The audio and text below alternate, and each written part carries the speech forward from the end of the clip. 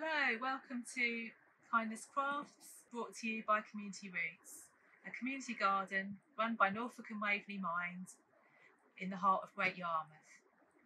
Today I'm going to show you how to make your own seed bomb, like this.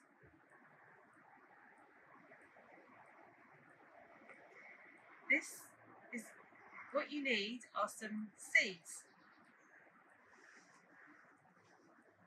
Today I've just got a selection of different seeds that are attractive to bees and pollinating insects. For example, salvia, it's a wildflower mix, red clover, borage, poppy mix and some French lavender. Um, today we'll just use, as our example, we're going to use just the wildflower mix. The other things that you're going to need are some compost, it's just normal multi-purpose compost, some, and some clay. And that's it. Get your compost and put your seeds in. So a bit of compost. Already got some seeds in here. Put these ones in. Put some more. So put the whole packet in.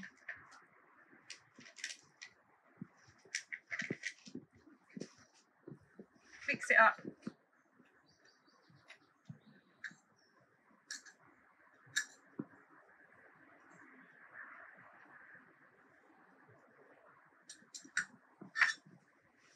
get your clay. So some people use clay from their garden in a clay area, or you could use powdered clay.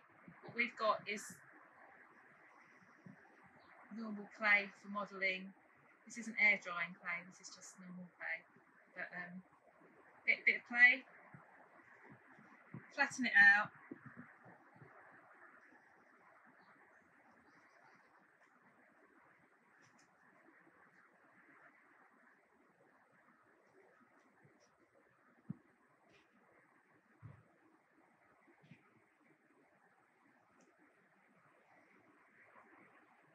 can hold it in your hand, slightly cupped,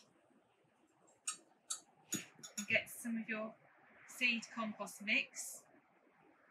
Put it in.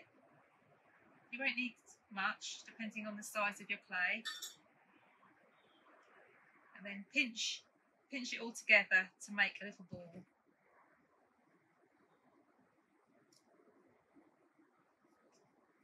Roll it out.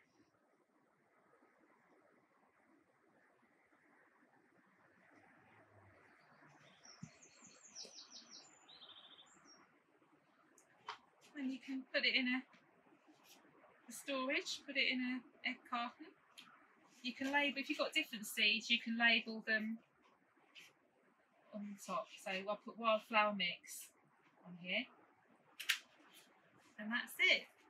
When you're ready to plant your seeds, when you're ready to plant your seeds, you can um, put them in a pot break it open, make sure you water them. Or it's a seed bomb, so you could throw it at your flower bed, let it crack open, do it on a rainy day and it gets enough moisture, or give it a good water where it's broken open, and you should get lots and lots of seed, lots of flowers coming up there um, that are attractive to the bees and the pollinating insects. There you go.